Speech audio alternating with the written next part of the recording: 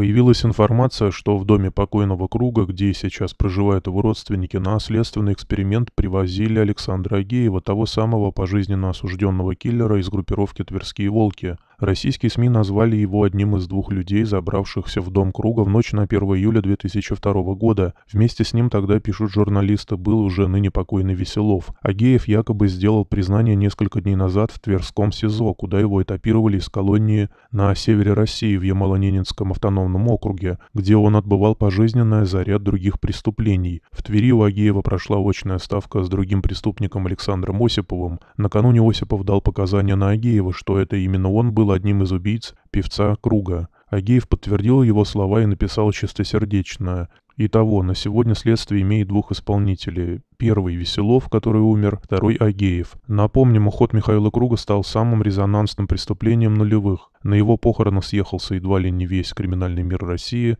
масса поклонников и даже государственные деятели.